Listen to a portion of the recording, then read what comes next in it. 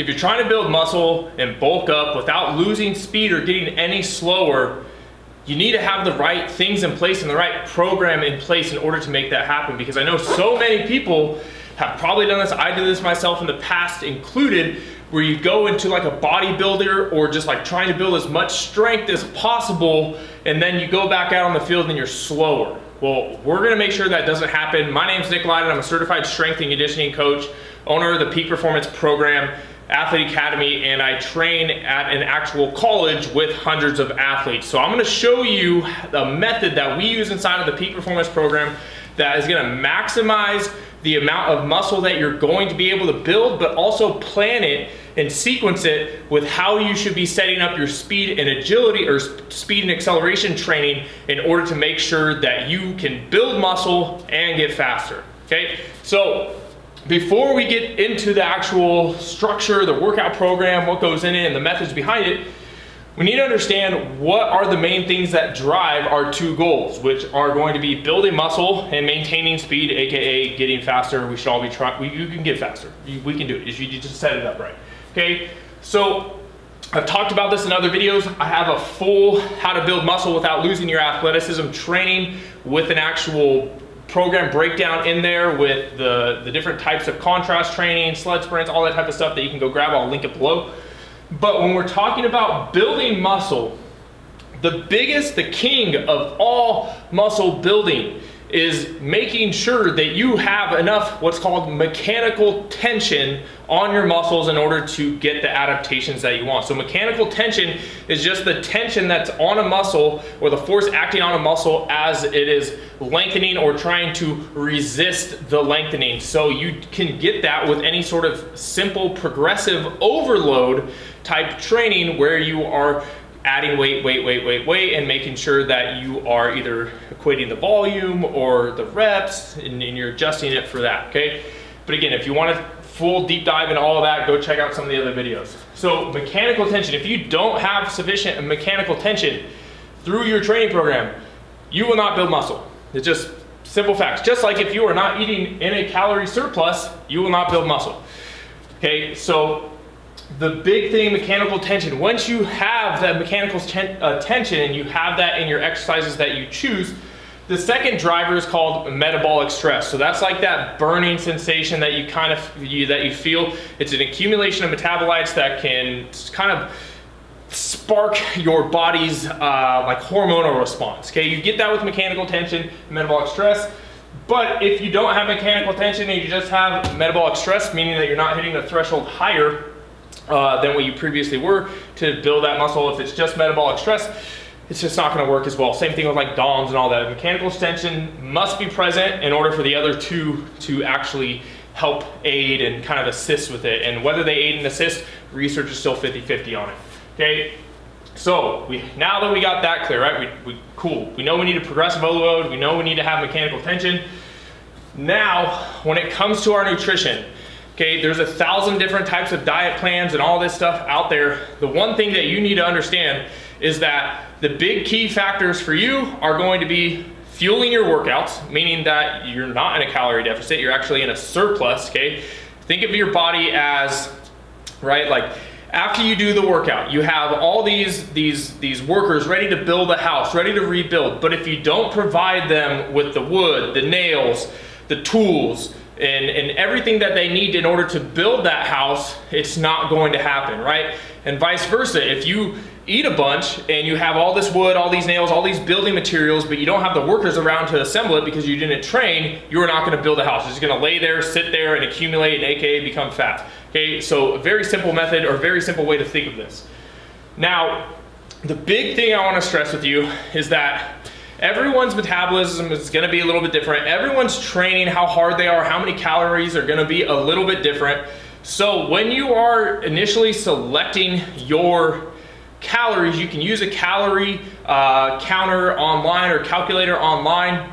Or what I recommend, and when either my clients are doing muscle building or fat loss uh, as their secondary goal in terms outside of their performance goals in the gym and in the field, I have them track all of their food, all of their things that they drink, so they, for the next seven to 14 days, So they know every single day how many calories they had, how much protein, carbs, and fat they had, and I have them track their weight along with that. So I can see the, like see how it's fluctuating, okay? So at the end of it, you take the averages, right? You're like, okay, cool. On average, I ate 2,000 calories and I gained, or I lost, say a pound, okay? Then I can go, okay, cool. He was at 2,000 calories. He ended up losing a pound. So roughly, not always, that he was in a 3,500 calorie deficit and because 3,500 calories roughly equates to about a pound. Now there is water weight and different things that can influence like sodium and stress and sleep and all that stuff. But it's just a general good rule of thumb that can put you on the right track with it. So I know now that they eat 2,000 calories every day. Their weight can fluctuate every day, but on average they lost a pound over those seven over those seven days. I know that 3,500 divided by seven is 500 calories. So that would mean that their training or the amount of food that they're eating was negative 500 calories a day. So they were minus 500 calories a day. So if you're trying to build muscle, we wanna make that, you would wanna eat anywhere from 28, maybe up to 3,000 calories. It really depends on you. That's why I always recommend you're tracking your weight as you go because a good rule of thumb, now newbies will be able to build a little bit muscle quicker and different things like that.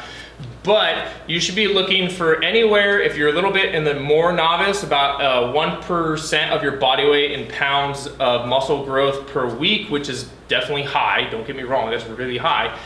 But the more kind of average would be right around uh, like a half a percent to 2.5% of your body weight. So if you weigh 200 pounds, you're gaining a pound of muscle a week. That way you're not just putting on fat, you're actually building lean muscle. Um, other things that are helpful are to do like waist measurements, arm measurements, chest measurements, okay? Looking in the mirror so you have more data points to see how your actual body is actually changing. And then you'll adjust your calories Uh, based around that. So if you are not building the muscle at the rate that you want and your fat's not going up, you can increase it, say 100 calories next week or 150, 200, as long as you're keeping those measurements and realizing that you're not just gaining fat. That's why the measurements are, are good because if you are just building muscle, you're not necessarily going to like get a bigger waist, okay? It'll actually probably stay the same size it might even go down a little bit. It just really depends if you're losing any amount of fat along with that, with the training uh, with that, okay? Now, when it comes to your macro breakdown, you need to fuel your workouts. Your workouts are gonna be intense, they're gonna be hard, they're gonna be using primarily two energy systems, which are your, your creatine phosphate system and your anaerobic system. So what fuels the anaerobic system are your carbohydrates. And what also carbohydrates also help do is they will peak hormones in your body that are more inducive to help support muscle growth. So doing any keto bullshit is not gonna be the way to go. I mean, people have done it, it's just not as effective as could be. And if you're looking to optimize and make it the most efficient as possible, we wanna have a high carbohydrate, high protein diet with some adequate fats in there. So a very simple way you can do this is do anywhere from 30 to 40% protein, 40, maybe up to 50% carbs, and the rest coming from fat. You just wanna make sure that you're at least getting a gram of, of protein per pound of lean body weight or body weight. If you're a little bit heavier, obviously you don't need to go that quite that uh, intense because there's some diminishing returns. And the added amount of carbs that you are having, it has a protein uh, sparing effect in it, which will help you out with that, okay? But high protein, high carbs, adequate fats, roughly low end 15 up to 20 percent is kind of what I, I, found the sweet spot for. When I do a 40, 40, 20 split, so 40 carbs, 40 protein, 20 fat percentage, uh, it seems to work pretty well for me. Okay, and then the last thing, right, is recovery. People forget this so much. You have to be able to recover from your workouts in order to get the adaptations that you want. So if we think about it, right, we have our, our stimulus, right? That's like the training, everything we're doing, the stress in your life, all that stuff, that's the, the stimulus that's kind of on our body. We have our adaptations, uh, kind of, or not adaptations, we have your accumulation phase. This is where your body's kind of like getting a little beat up, there's a slight performance decrease, right? You're kind of getting adjusted to it, and we have our recovery over here, right? When we have all of these, meaning that we're training hard, we're getting adequate stimulus and a recover and uh, we have that recovery that we want from it, then we get our adaptations, aka muscle growth or getting faster, more powerful, whatever the goal is for yourself. Okay, you have to be able to recover for it. Big things, sleep, gotta get your sleep in, hydration. They're like the two biggest performance uh, supporters that there are along with adequate nutrition. Now when it comes to speed, there's, there's, there's a little bit more, okay? The, lowest hanging fruit for speed is improving your technique across the board or maintaining, right? So like if you need to get faster or you're trying to maintain speed, one thing that I recommend is that you focus on the technique for the three different phases of the sprint. So there's your start or acceleration phase, transition phase, and your top speed phase. And they all have slightly different variations on how your feet are contacting the ground, the shin angles, body angles, um, and, and what the primary technique is for that, okay? So after that, we have power.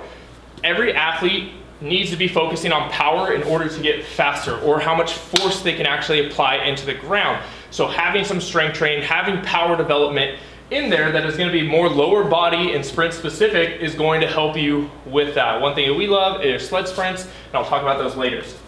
That later. The next thing we need to have is stimulus. This is why so many people get slow when they're doing bodybuilding or straight strength training, they're in the gym 24 7, but they're not going out and running. Because your body needs to have enough stimulus, just like over here, to, to build muscle, get stronger. You need to be getting the, uh, enough frequency of acceleration training, of top speed training in order to maintain or get faster with your speed development.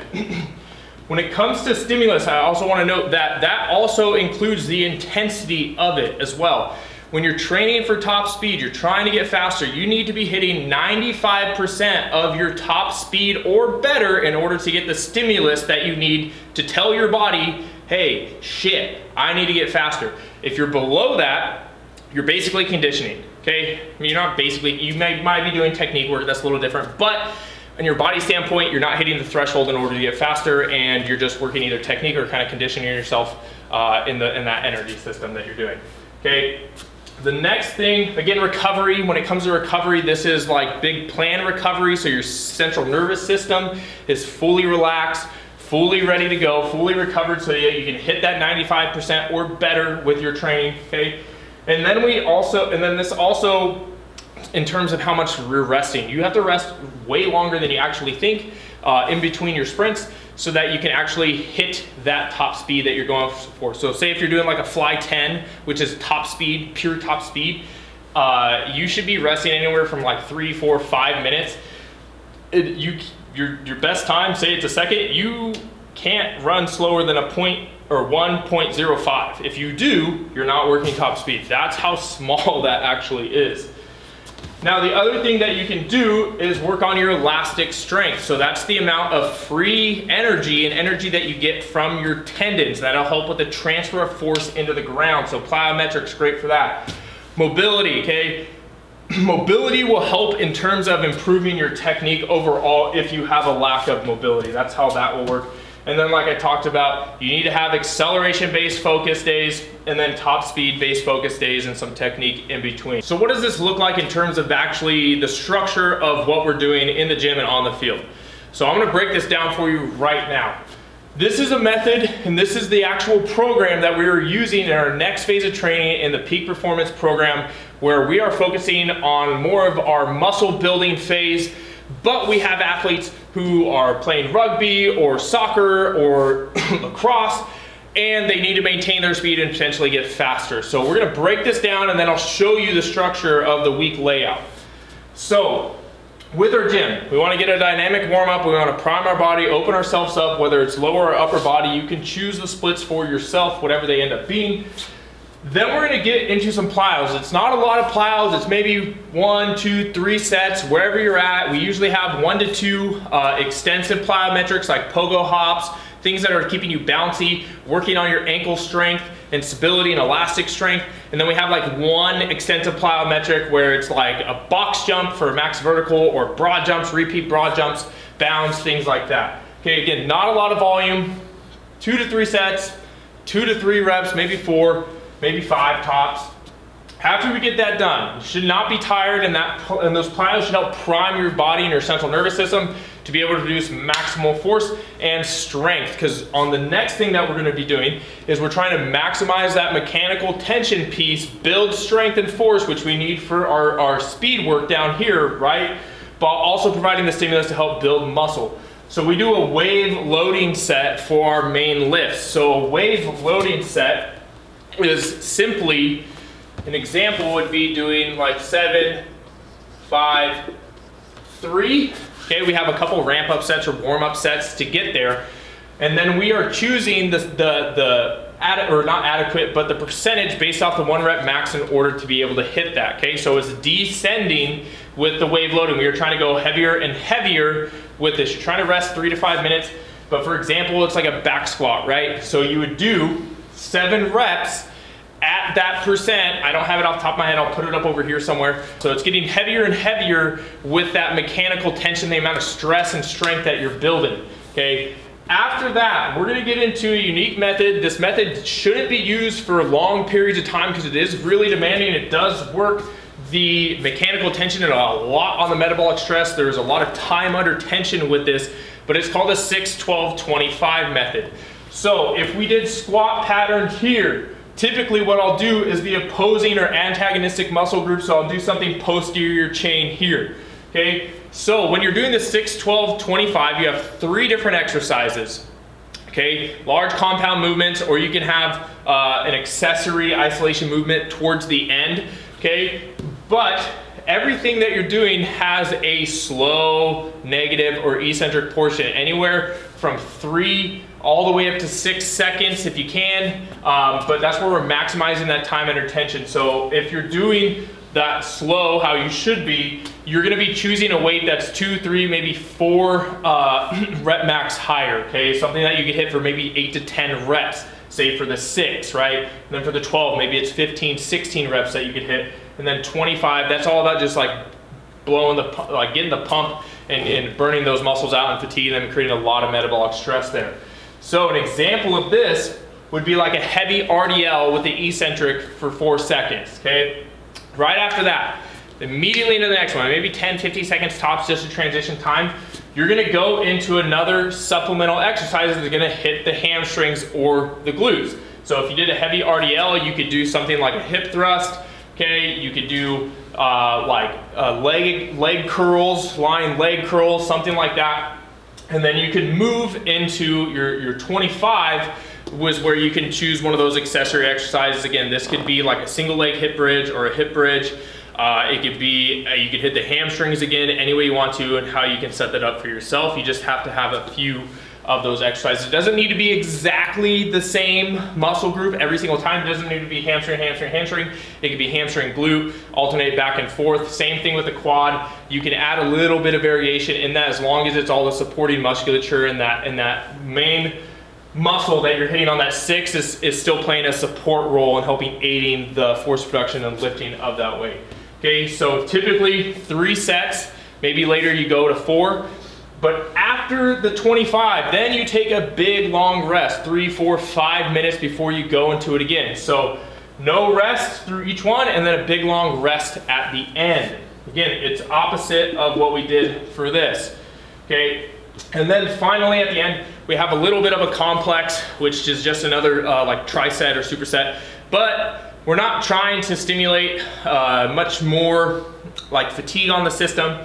It's really like prehab work, shit that you don't normally do, right? Mobility work, um, and then maybe an accessory exercise to hit the quads and something that you hit back up in the main wave loading set that you did, okay? And then you'll switch that and I'll show you that later when we go over the workout structure.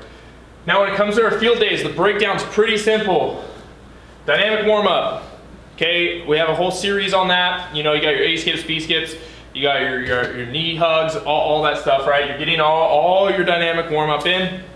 Then we're going into some little bit of plyos, so some power development. Again, start uh, extensive, so hops, forward, back, side, side, priming those ankles. Then we go into extensive where we do some bounds or you do some double bounds and things like that, okay?